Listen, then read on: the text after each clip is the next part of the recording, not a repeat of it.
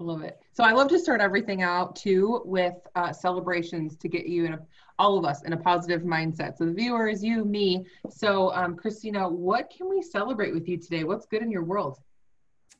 What is good in my world? Well, um, a little plug. Uh, I'm doing something called the Summer Marketing Academy on my brand new Facebook group, and I've just been having wonderful people on. Just, you know, marketing can get so like pressurized, like, oh, I need to get new clients. So yeah. I basically decided let's have some fun, wear summer hats, drink iced tea, and talk marketing. You know, so the Summer Marketing Academy is just going really well. And if you're curious and you're listening to this, it's just the innatemarketinggeniuses.com. Just go, or sorry, on Facebook. It's a group. So, yeah. Very cool. I love I love the theme with the hats and like making it fun. Um, the one thing that I always tell people is that I don't do anything unless it's fun. So when you put a spin on marketing and make it fun, that's always more intriguing than like, hey, let's just talk about this thing that you know we all have to do in order to get to where we want to go. But it, it's dry and it's boring and nobody wants to do that. So I love your take on that. That's great. I actually have sort of forced myself to wear glamorous outfits while I do it. You know, I never. Th- these are the clothes you never wear. Where are you going to see it right now, right? Like we're all like virtual. Where else? Why else? Why do you think I'm wearing some bling today? See, I love it. Where's my bling? I don't know. I love it. That's so fun.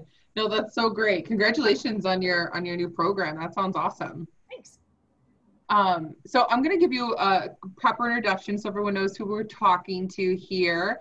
Um, so I'll just, I'll read off your bio and then we'll just start the conversation from there. So Christina is a branding and marketing expert. If you didn't catch that, um, she's been featured on Today Show and NBC News as an expert on transformational professionals and real estate agents she has developed a proprietary process that identifies innate marketing genius in business owners based on the two worldwide field studies she conducted. Her work connects authentic messaging to practical field tactics, which translates to relevant marketing and high quality clients. Who doesn't love that? She also is a total founding fathers geek which is why she loves Boston and wrote a book about these guys that got her on the History Channel twice. That's super amazing. So, Christina, you are located in Boston, Massachusetts, correct? Yeah, just north of Boston in Marblehead. Awesome. Is that where you're originally from? I'm from Connecticut. Okay. But yeah, I just made my way up here because I love John Adams and Paul Revere, and I just kept visiting up here. And yeah, I just ended up here. That's amazing. I love that you you know the things that you really enjoy drew you to where you are. Definitely. That's amazing.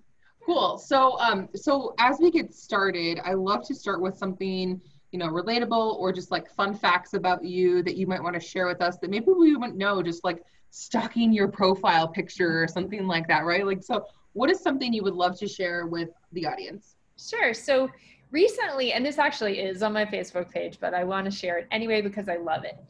Uh, recently, I took up biking, like long distance biking, and I have kind of a fancy bike, you know, like a road bike. And it's really hard to get a dog on a road bike, right? It's not, doesn't have the wide handlebars. You can't put a basket up front. So for a year, I've had to figure out, like, all right, I need to make this work. How am I going to make this work, right? And there's, it just is not that easy. So I had to like jerry rig a thing in the back of the bike, find the right basket because there's so many options. And then someone had to install all the stuff and tell me oh how to use it. You know, like there were so many steps you wouldn't even think of. And finally, I got my bike out, I got my dog out, and we went on our first mission about a month and a half ago.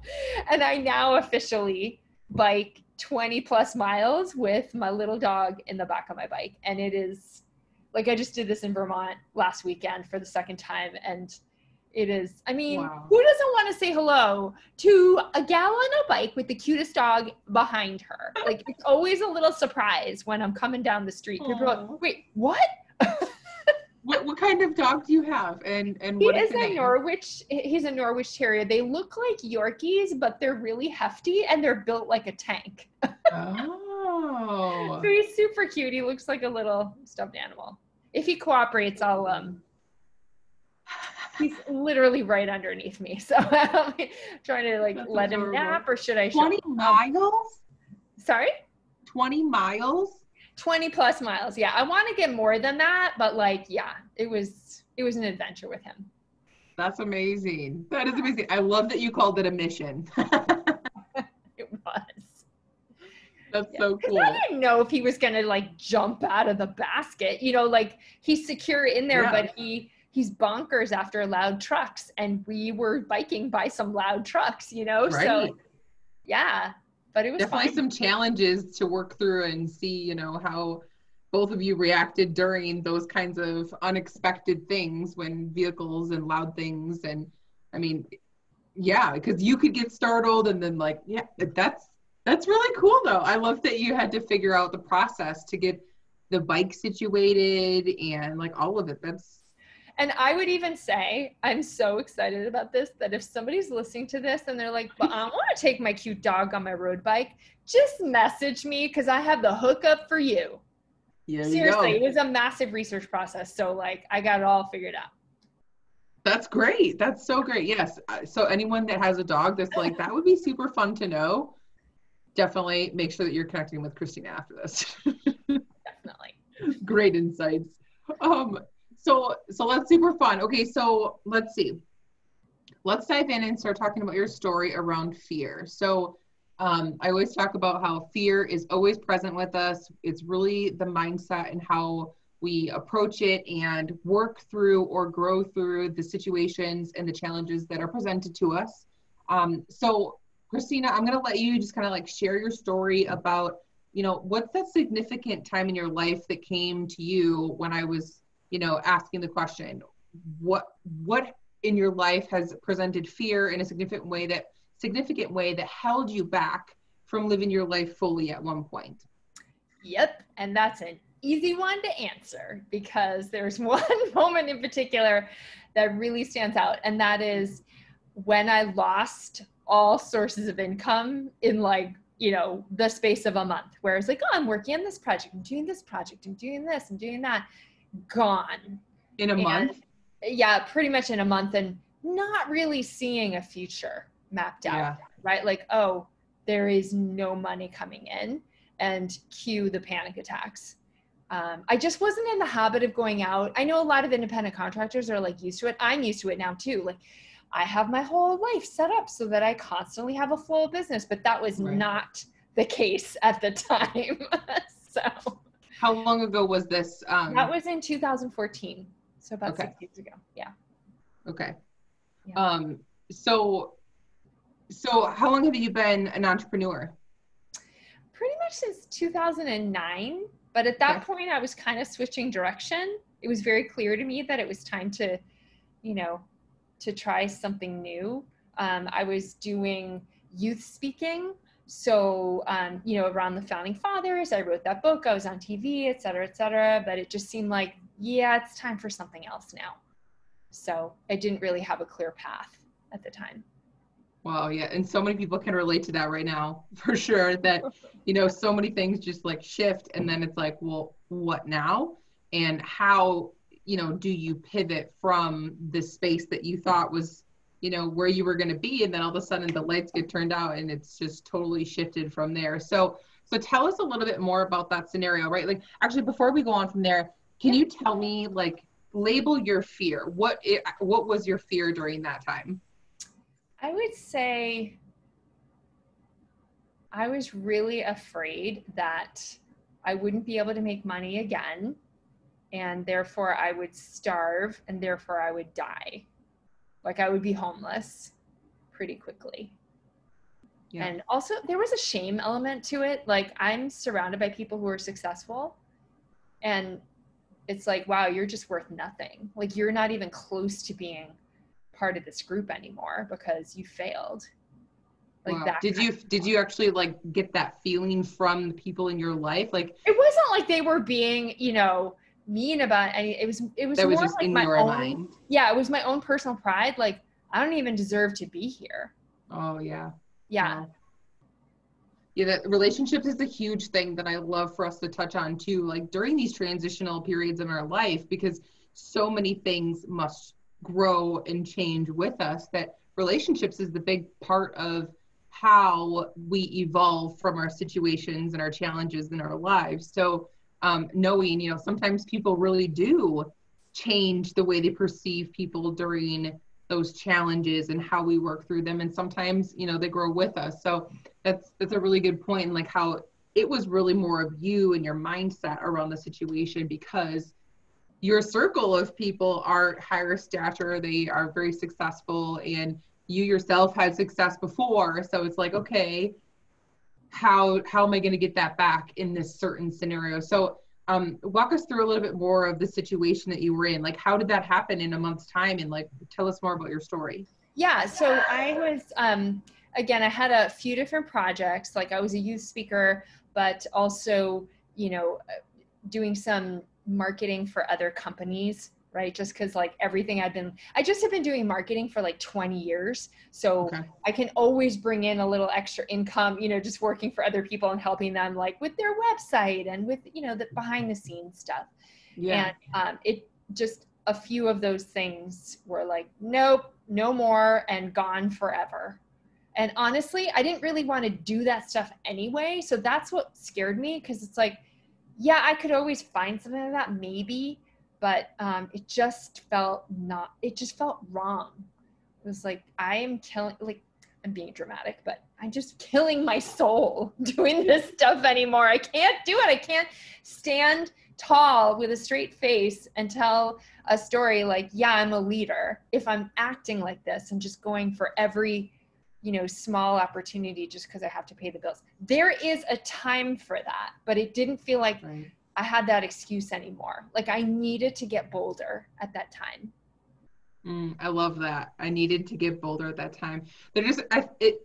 So this is, I believe, episode like seventy three. So that is something that is came to a point, right? Like we always have that tipping point or that moment that we're like, okay, something must change. So everything coming together at once to just sweep it all away was really the the turning point for you to just be like, okay, well, there's no going back to that. It's now time to get bold and make the shift. Yep. Yeah, that's cool. exactly what happened. Yeah. So where did you go from there? Like, tell us a little bit about like the upswing. Like when you decided that's what was going to happen, how did that start to shift? Sure. So this all happened. I was visiting family for a holiday, and um, this was out in California, and um, my I got on the airplane in basically a panic attack. Like I was like, I don't know what is next, and uh, I realized that I had. This always I just feel like kind of weird saying this, but I'm just gonna say it. Like in the 2000s, I created a mindset tool it's now called the generosity practice, but at the time I didn't have a name for it. But it was a way of being where when I closed my eyes, I just imagined what kind of a contribution I wanted to be. Like if I could give mm-hmm. anything to life, um, what would that be? And it was like an art form. It was a it was something fun to do, but I also noticed that it was the fastest way for me to come out of pa- panic and into calm. And I took that seriously because I just I've had a life of anxiety. So when I find something that brings peace and calm and clarity, it really it just caught my attention. And I always knew that when things hit the fan, that I would finally lean on this thing, whatever it was, um, and take it like and just really use it for all it was worth. Right? I knew there was something there for me. So I got on the airplane and I closed my eyes. And I basically just did this practice for like the nine hours it took me to get back mm-hmm. to the East Coast.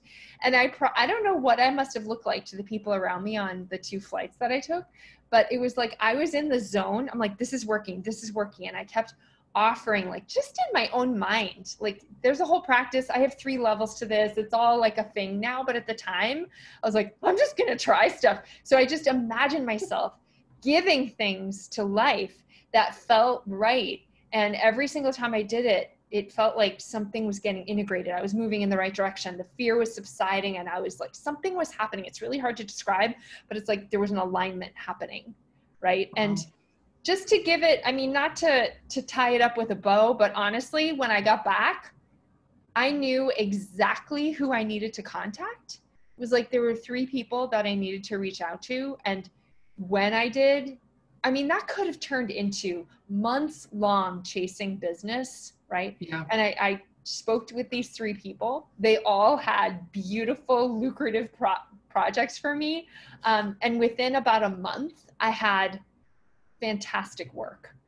And it's like wow. i couldn't even written that st- like i couldn't have written the job description for the beautiful work that came my way. Um, and I, I mean i've thought about what the heck happened for years. I've like tried to distill down like what the what? And to me just to you know put a fine point on it it's like when i decided that giving of myself and the joy of generosity was more important than my fear that everything else became clear. Like my next steps just kind of unfolded before me that's wow. what i yeah i could go on and on about that but that's that's what my brain is is that's the story that i'm telling myself right now about that yeah yeah. No, and I mean it's it's very true because we definitely can look back at our situations and be like, okay, wow, like this is this point this is what this point and really then we get to kind of reflect and see you know what tools what what things really did benefit us and get us out of those slumps and really um, get us through the loop of you know the ups and downs of having success and having a lull and figuring out the ups and downs because we go it's not a matter of if it's a matter of when we do. And to have tools that we realize are benefiting us that's really powerful to really put a fine point on it and realize like actually those practices were really serving me. And now when it happens again you can continue to come back up faster. So how long was that time frame for you yeah so i would say that i mean all right how long was the time frame there's a couple time frames that come to mind one is how long did it take me to calm down from that fear and literally that night, like usually when I hit this kind of panic, I will lose sleep for days and then I'll get sick and then I can't function. And it just can get really, I mean, it can get really bad. Yeah. Uh, which has been the big reason for health issues that I've had over the last 20 years. Like they're all fear based, right? So the fact that I slept really well that first night uh, it, and and kept sleeping well, like night after night after night, should tell you everything you need to know about how powerful this work is. Because typically, I would that would be the first thing to go. Yeah. Um, so that that's one time frame. Then, as far as again, like getting some good projects in my um, in my awareness, like so I could make money again, that took about a month. And then uh, then i realized well if it works for me i want to know if it works for other people. So this happened in october initially and by january 1 i was teaching my first workshop to people who were kind enough to just try it out. Yeah that's amazing i think that and that is that is so true i love that you're talking about how we contribute that is a huge thing um, that my virtual workspace and community, we're all about how we're giving back, how we're contributing to the people that are in our sphere. We say our world, right? Like my world, your world, because it's everyone that we can touch with, you know, giving value or contributing in whatever ways that we can with our talents and our our gifts that we have or the tools that we create that can help other people move out of their situations faster and give them that support. So that's super amazing. So, um, where could someone find access to these tools? Are these all on your website? Yeah, and I should say that I'm a marketing and branding specialist. So it's like, well, what does this mindset tool have to do with anything? So I, I just want to make that connection. Um, the tool is called Generosity Practice. And you can go to generositypractice.com and it will take you right to the page. Uh, but just know that marketing is basically you and other humans connecting. And sometimes when we connect with other humans, especially in service based businesses, it's all about building trust and it can get messy. We hit our stuff, we bump into other people's stuff. How do we actually stay human with each other, right? So, what I've learned over the years is having the generosity practice is the first thing people do. Every person who works with me needs to do it because guess what?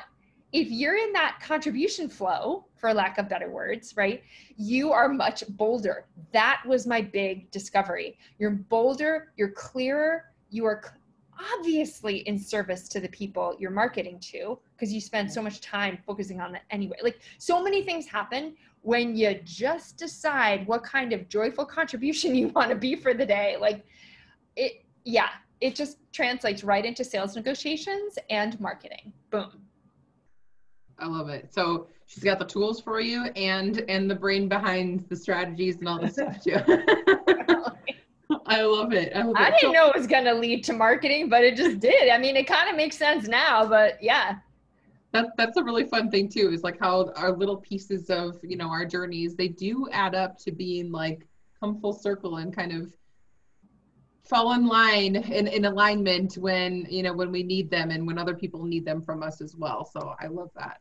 Um so so with your story what um that that's one obviously really powerful thing. Was there any um anything outside of that that you can really say for like advice to the viewers when they're feeling like in these situations or anxiety or any like tips or advice that you would like to give them? I would say that one of the biggest reasons I have experienced anxiety over the years is that I do not give myself a safe sandbox to play in. And what I mean by that is this. A lot of us who are progressive, open minded, and holistic, we focus on our limitless being, right? Oh, we can do anything, we can create anything. Just put your focus on this and it will manifest. Like, I call that yes, and it's sort of like manifestation 1.0 2.0 to me is the awareness that we are humans in limited bodies and they have needs.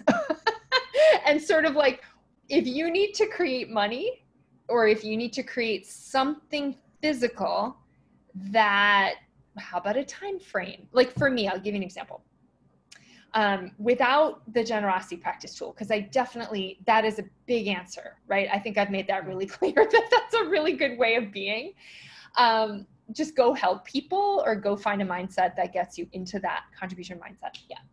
Um, but that, you know, for example, for myself, I could say to myself, well, I'll just create clients because I'm limitless. And then I'll start getting these panic attacks because it's like there's no clients coming in. And I don't give myself a time frame that says if I don't get clients by September 1, then I need to go to a plan B right? And not only right. just clients, it's three clients in the space of four weeks. Here are the things I need to do to create that, right? Like it's sort of what are the grounded things that need to happen? And then what are the steps I can take to get there? And what is my plan B that I can fall back on? So that my body is not wondering, okay, limitless being, like, you got to show me some reality here. like, you said it, now what? exactly. Like I need safety. I need steadiness. My body does. You know, my spirit's like, yay, let's try anything, right? You need both. What's yeah. a good, stable, safe sandbox to play in? What are the healthy boundaries for that, whatever it is you're working on or whatever it is you're creating? I think that is like, oh my God, I wish someone had just taken me by my shoulders several times and just been like, Christina, we love you. Please just make some choices around your sandbox. Yeah. Wow. No, I love that. I'm such a visual, like I'm a visual person to like put things into perspective for myself. So when you say when you said sandbox, I immediately was like, okay, there's four things. We need clarity, we need focus, we need boundaries, and we need action. Like I just built four walls with my sandbox. When you said sandbox, that's immediately like what I focus on because I, I do a clarity mastermind where I talk about those things. But when you said sandbox, my mind directly was like, boom, I have a safe sandbox, but I never looked at it as a sandbox. Love it. And I'm all a little fun. So now that's a definite, definite visual for me. So I love that. Yeah. That is Very awesome. fun. um, okay, so something I love to ask because um, I love thinking about future. Um, where do you see yourself five years from now? You obviously have tools that really support you in going for what you're going for to contribute to your world. So, where do you see yourself contributing in the next five years? So, one thing that I, it's funny you asked me this because last week I had a really big aha moment around what's happening in our country and in our world, right? So, um, one of the things I do with my clients is I help them find their deepest why in service to other people, right? So, um, it's incredibly focusing, grounding, and motivating to know what that is, right? So, you know, one thing that um, like the, the first step on that path, if I can just describe this really briefly, is to take what I call the innate marketing genius assessment. It's right on my website, innatemarketinggenius.com. It's free, it's five minutes. And you find out, like, hey, am I a nurturer or am I a celebrator? And what that, there are five types, and it basically describes, oh, you know, again, the deepest why. I'm a nurturer. My deepest why is making it safe for others to thrive. If I know I'm doing that, I am absolutely on my mission. I have my own way of doing it. There are many kinds of nurturers. Then you have adventure guides. I'll just describe a couple. Adventure guides are ones who are like, they take the bold action. Their deepest why is making sure their people are living it to the fullest and they see what's possible for them. It's amazing. Like these types are incredibly powerful. And my prayer is that everyone knows what their type is so they know what their deepest why is because they're incredibly compelling. Um, what I something that I listened to, and I won't go into the details, but something that I listened to last week made me realize a huge missing piece for America. And the reason I feel that we're crazy, I'm just going to say it like crazy, yeah. as in, we don't have the basic stuff handled like oh education for all and healthcare for all like these are not political issues they are basic human functions like they are just things that any society just need it's just a no-brainer on so many levels um, or that we hate each other for no reason, or that there's all this weird, dark, behind the scenes stuff a la Jeffrey Epstein. Like we could just go on and on about the level, like the stockpiling of guns. They need to be, you know, the hugest defensive power in the world. Like there's just crazy. There's just so like huge crazy. So to me, that happens when we don't have our deepest why as a country, which I call the noble center of things. Like I think America, America has wanted to stand for something noble since we began and that mm-hmm. we've always been striving for that but we really have not we just haven't had that for a while like for decades and um and we're stuck and i hate saying that like i totally i think there's so much forward movement but it's not in a way that drives the whole thing forward together like there's right. little pieces and pods and god bless us all for you know um, helping each other in every way that you can. Rebecca, you're doing your part. I'm doing my part. Like we're all doing our part. Um, but what really became clear was that the unifying, loving, forward moving thing that really just brings us together and makes us stand tall as Americans. Not that I want to be a patriot just to be a patriot, but I want to be proud to be who I am and proud to be where I live and and be part of something with everyone else. So um, that's a huge missing piece. And and i think whatever happens with my work i feel like it's calling me in that direction. Like i did a facebook live last week and i i, I sort of shared where this came from. It's yeah. this awareness that theoretical physicists have not been able to do their work properly since 1973 i don't entirely know why but when you don't allow the most innovative thinkers in our country to kind of just go nuts and have free rein um, entire industries collapse. I'm not kidding. So um, that that's sort of where I feel like this is heading. Is just um, this will be part of the awareness that we i mean i know i don't have a, i could talk to you about tangible stuff like i'd love to have a book published and i'd love to have people coaching the way i do and like you know the whole structure of my business but the deeper thing that's calling is um, if we've lost our way, which I feel like we have, and, and that doesn't mean that there's not great work being done. Like there's so many amazing leaders in this country. Um, but I, I just, I would love to see this place and more and more people be open to the possibility that there could be a noble center to our country again. I don't know what it is. It could be something as simple as, hey innovation yes we're for it. And we're here you know we stand for compassion. I mean these seem so obvious but it has right. to be something we can all stand behind something that has i guess it's centripetal like it kind of brings us in together while it moves us forward um, i don't know what that is but i would love to be part of that dialogue. I feel called to create that dialogue with more and more people. It's like are you open to having a noble center for our country for your organization for i mean these is just new language i know for things people have talked about for a long time but um, just i don't know like with the innate marketing genius work and generosity practice work it just feels uh, like this is the next the next step on that path is to apply it wider yeah um, wow. yeah i don't know where it's going to go but that's amazing. And I believe you. Like that sounds absolutely like we could use more of that. We could use we could use a center point to all of that and um, bring more people together, all of us that have the mindset that that is what we need. So beautiful. I, I love it. And I love that you you aren't just thinking about like the tangible things for your business, but again, that's probably another reason that you're a nurturer as you were talking about, which I'm gonna go take that quiz because I love um, knowing those things. And I'm going to be shocked if I'm not the adventurer one that you just talked about. so I have a feeling that's maybe why you said that. Um, so, but I'm definitely going to go um, take that quiz. So, um, just to like round this out, then, yeah. where is the best place for everyone to connect with you? Is it on those sites where the the tools are? Where is the best place to get in contact? Yeah, so there's two places. One is innatemarketinggenius.com right? So that if you if you press the big pink button, that's your assessment right there. So you'll find out what genius type you are, um, innatemarketinggenius.com.